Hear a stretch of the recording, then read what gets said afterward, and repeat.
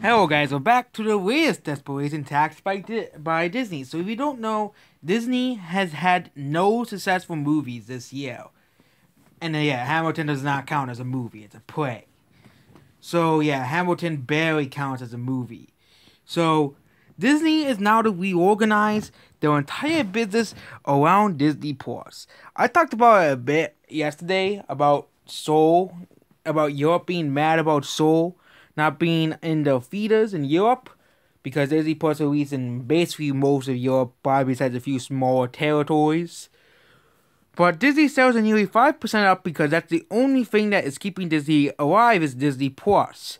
The only thing that is keeping Disney from going bankrupt is literally just a crappy streaming service that isn't even that great. And it's funny how every time I, most people tell me they're watching Netflix, they never say Disney Plus. So I don't know who is watching Disney Plus. Obviously, the Disney fanboys are the only people who are keeping Disney Plus alive. Are the Disney fanboys who will buy anything of Disney's logo on it. But the company is facing massive investor project, you know, positive investment in streaming. It's only good performing sector right now because all its other sectors are having massive layoffs. Like movies, parks, and cable are being heavily impacted by the virus. The company will reorganize its you know structure to be around Disney Plus, Hulu, and ESPN, as well as legacy TV networks. The new media and entertainment distribute distribution group led by Kareem Daniel, formerly the president of Disney's consumer project, and we only and yeah, the free there will be three groups that produce linear TV and film will be World Studio Entertainment and Sports.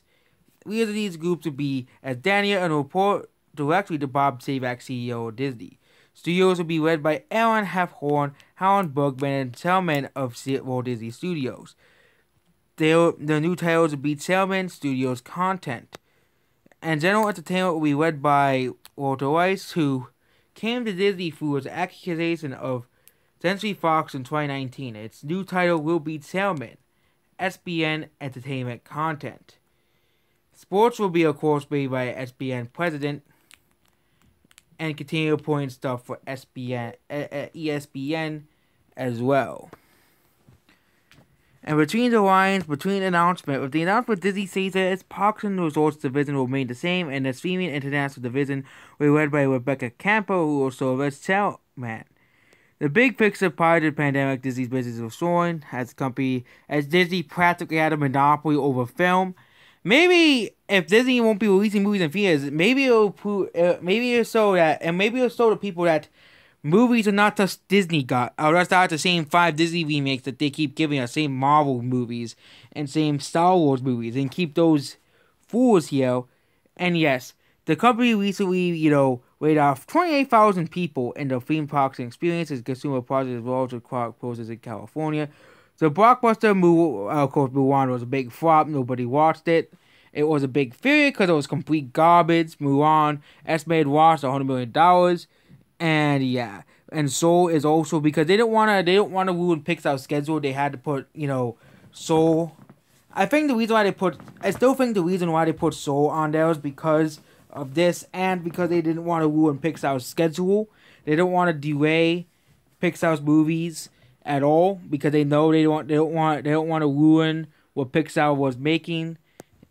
Because you know, because you know, if it continues to Rain Soul, it will con- it will basically you know eat into development of other Pixar movies. That's basically what it will do, and I don't think Disney wants to do that with Pixar like they're doing it with Marvel. Marvel does just delay the whole thing, and I don't think Pixar doesn't want to delay. I don't think Disney does wants to delay any future Pixar movies. So, again, this is bad for physical media and all that stuff. But again, I think this is just another desperation task being out of Disney.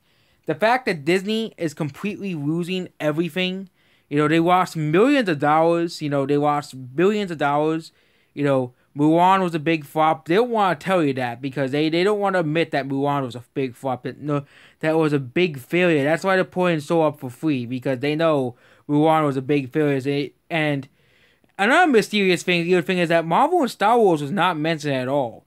Marvel and Star Wars was not mentioned at all. There was supposed there was this December tenth meeting that other people were saying that was coming around as well, And yeah, there will probably stuff about Marvel and Star Wars. They'll probably keep Marvel in theaters because they know Marvel will make money in theaters. But older garbage, like, you know, the older garbage remakes will thankfully be out of theaters because I don't I don't want to see you know you know movie other movie companies having to walk around whatever garbage remake that Disney is putting in theaters. I don't want pe- for example a lot of movies around where the Lion King remake came around flopped except for Once Upon a Time Hollywood because Once Upon a Time Hollywood actually was advertising the movie and stuff. Unlike all the other movies where they're trying to, you know, stay away from the Lion King remake as much as possible, or releasing or, or be there for some random indie movie that would basically bomb because Disney would put out the garbage remakes. You know, basically their enti- the 2020 box office entirely revolved around Disney's release schedule and maybe the other companies can will finally get to put out. They don't have to revolve themselves around Disney's schedule of 2021 and 2022 and onward. It would be good for independent movie companies as well that don't have to worry about Disney's monopoly, practically mon- practical monopoly over movies as a whole. So Disney is just dying. Okay, there will be lots of other companies do still care about physical media. So only Disney and once, uh, and, I, and I won't be surprised once Disney is missing out the Chinese money, because Disney Plus probably will not be released in China anytime soon. Once Disney realizes that they can't make money in China anymore, I bet they'll turn right back around and release some movies in theaters again. Because they'll see, oh, Fast and Furious is making tons of money in China, you know, which is one of the biggest franchises in China, and Chinese box office is actually back to what it used to be actually with the highest grossing movie of the year now being a Chinese movie because it made four hundred fifty million dollars at the box office.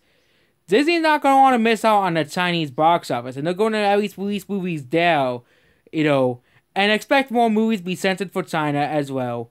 And yeah, that's basically it about this video. Disney is in desperation mode. Goodbye.